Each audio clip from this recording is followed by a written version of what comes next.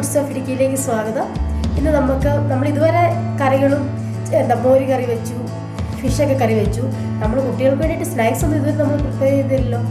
നമുക്ക് ഇന്ന് കുട്ടികൾക്ക് വേണ്ടി ഒരു സ്നാക്സ് ഉണ്ടാക്കാം. നാല് മണിക്കൊക്കെ വരുമ്പോൾ കൊടുക്കാൻ പറ്റുന്ന ഒരു അടിപൊളി കട്ട്ലറ്റ് നമുക്ക് എങ്ങനെ ഉണ്ടാക്കുന്നത് നോക്കാം. കട്ട്ലറ്റ് ഉണ്ടാക്കാനായിട്ട് വളരെ എളുപ്പമാണ്. ഇൻഗ്രീഡിയൻസ് ഒക്കെ എല്ലാവരുടെയും വീട്ടിലുള്ള സാധനങ്ങളൊക്കെ തന്നെയാണ്. സൂപ്പർ സ്റ്റൈലിൽ എങ്ങനെയാണ് കട്ട്ലറ്റ് ഉണ്ടാക്കുന്നത്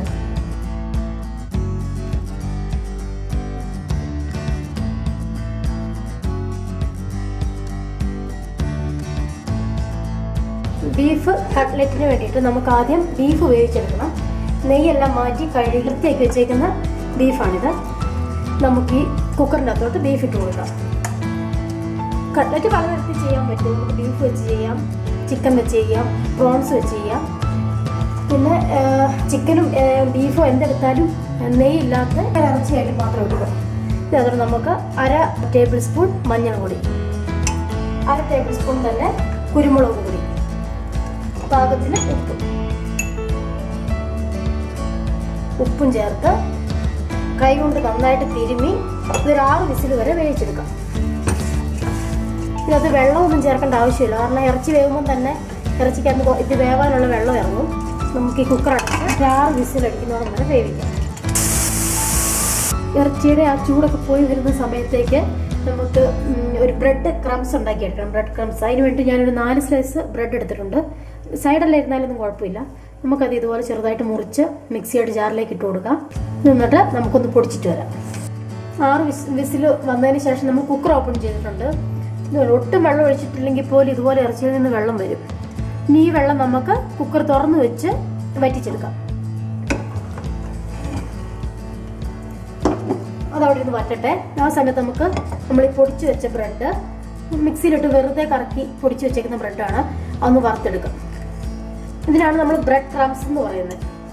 ഷോപ്പിൽ നിന്നൊക്കെ ബ്രെഡ് ക്രംസ് എന്ന് പറഞ്ഞ് മേടിക്കാൻ കിട്ടും. പക്ഷേ ശരിക്കും മേടിക്കേണ്ട ആവശ്യമില്ല നമുക്ക് വീട്ടിൽ ഉണ്ടാക്കിയെടുക്കാൻ പറ്റുന്നതേ ഉള്ളൂ. നമുക്ക് തൈ വെച്ച് ഇളക്കി നല്ല ക്രിസ്പി ആക്കി എടുക്കണം ഒരു മീഡിയം ഫ്ലെയിമിൽ ഇട്ടിട്ട് നമുക്കിത് വറുത്തെടുക്കാം.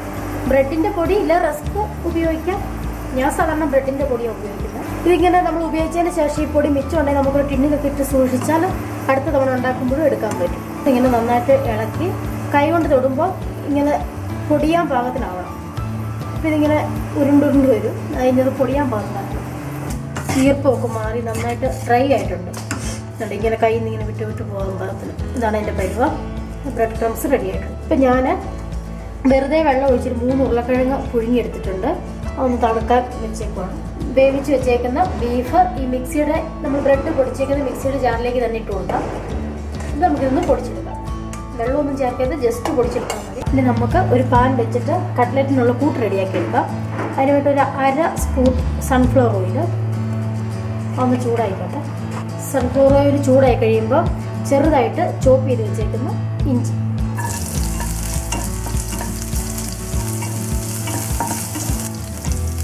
ആ കൂടെ നമുക്ക് ചെറുതായിട്ട് അരിഞ്ഞ് വെച്ചേക്കുന്ന വെളുത്തുള്ളി. ചെറുതായിട്ട് അരിഞ്ഞ് വെച്ചേക്കുന്ന പച്ചമുളക്. പച്ചമുളക് എരിവ് അനുസരിച്ച് ചേർക്കണം. നമ്മൾ വേറെ മുളക് പൊടി ഒന്നും ചേർക്കത്തില്ല ചെറുതായിട്ട് മുറിച്ച് വെച്ചേക്കുന്ന കറിവേപ്പില. ഒന്ന് വഴന്ന് വന്നിട്ട് സവോള മൂപ്പിച്ചെടുക്കണം. ചെറുതായിട്ടൊന്ന് പച്ചപ്പ് മാറി വന്നിട്ടുണ്ട്. ഈ സമയത്ത് നമുക്ക് ഇതിനകത്തേക്ക് സവോള ഇട്ട് കൊടുക്കാം. സവോള. ഞാൻ രണ്ട് സവോള ചെറിയ സവോള മീഡിയം സൈസ് സവോള നന്നായിട്ട് അരിഞ്ഞ് വെച്ചിട്ടുണ്ടാകും ഇച്ചിരി ഉപ്പ് ചേർത്ത് കൊടുക്കാം. ഈ സവോള പെട്ടെന്ന് മുറിഞ്ഞ് ഉപ്പിട്ട് കൊടുക്കുമ്പോൾ നമ്മൾ ഇറച്ചിക്ക് ഉപ്പ് ചേർത്താണ് വേവിച്ചെടുത്തേക്കുന്നത്. ഉരുളക്കിഴങ്ങിനും സവാളയ്ക്കും ഉള്ള ഉപ്പ് ഇനി ചേർത്ത് കൊടുക്കാം. കുറേശ്ശെ ഉപ്പിട്ട് കൊടുത്തിട്ട് നോക്കിയിട്ട് മാറ്റി ചേർത്ത് കൊടുക്കാം. ഇതിപ്പോൾ നന്നായിട്ട് വഴന്നിട്ടുണ്ട്. ഒരുപാട് ബ്രൗൺ കളർ ആവേണ്ട ആവശ്യമൊന്നുമില്ല ഉരുളക്കിഴങ്ങ് പുഴുങ്ങി പൊടിച്ച് വെച്ചേക്കുന്നത്.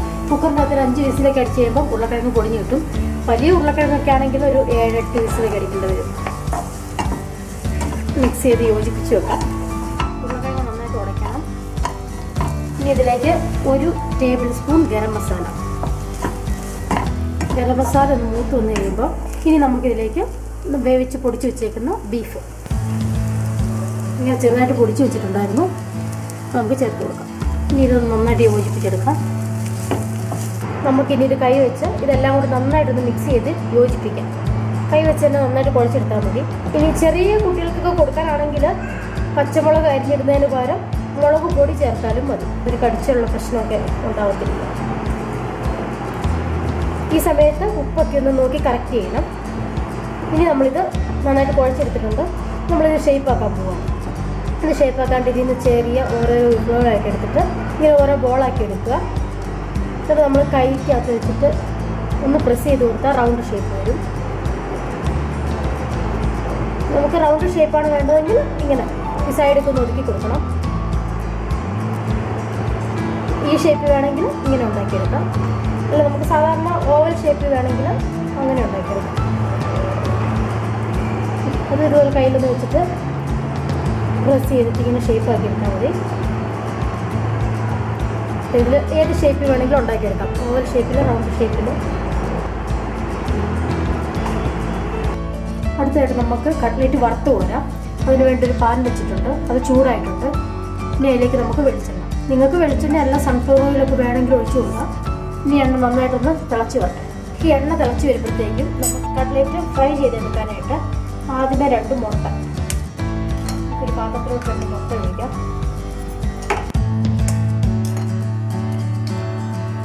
ഈ മുട്ട നമുക്ക് നന്നായിട്ട് ഒരു സ്പൂൺ വെച്ച് ബീറ്റ് ചെയ്തെടുക്കാം നമുക്ക് എണ്ണ ചൂടായിട്ടുണ്ടെന്ന് നോക്കാം. ഒരു ഇത്തിരിട്ട് കൊടുക്കുമ്പോൾ നന്നായിട്ട് തിളച്ചിട്ടുണ്ട്. നമുക്ക് ആദ്യം ഓരോ കട്ട്ലേറ്റ് ചെയ്തെടുത്ത് മുട്ടയ്ക്കകത്ത് നന്നായിട്ട് ഒന്ന് കോട്ട് ചെയ്തിട്ട് ബ്രെഡ് ക്രംസിലേക്ക് ഇടാം. ഒരു തവണ വറുത്ത് വരാനുള്ള മുഴുവൻ കട്ടയ്ക്കും എടുത്തിട്ട് ബ്രെഡ് ക്രംസിൽ വെക്കുന്നതായിരിക്കും നല്ലത്. നമുക്ക് നാലഞ്ചെണ്ണം ഒന്നിച്ച് ഇങ്ങനെ എടുത്തിട്ട്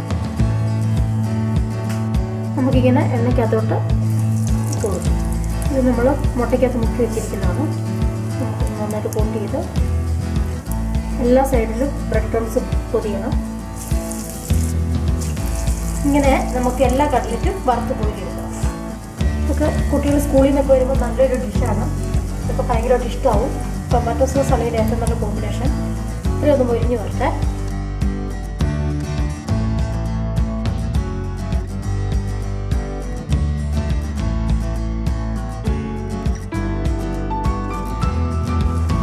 ഇനി നമുക്ക് ഇതിന്റെ ഒരു സൈഡ് മൊരിഞ്ഞിട്ടുണ്ട്. ഒന്ന് മറിച്ചിട്ട് കൊടുക്കാം.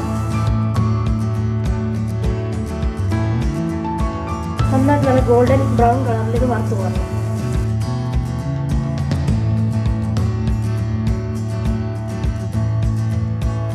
നന്നായിട്ട് മുരിഞ്ഞ് വന്നിട്ടുണ്ട്. പിന്നെ രണ്ട് സൈഡ് നല്ല ഗോൾഡൻ ബ്രൗൺ കളറായിട്ടുണ്ട് നമുക്കിനി ഇത് എണ്ണയിൽ നിന്ന് മാറ്റാം. കോരിയെടുക്കും നമ്മുടെ ടേസ്റ്റി ആയിട്ടുള്ള കട്ട്ലേറ്റ് റെഡി ആയിട്ടുണ്ട്.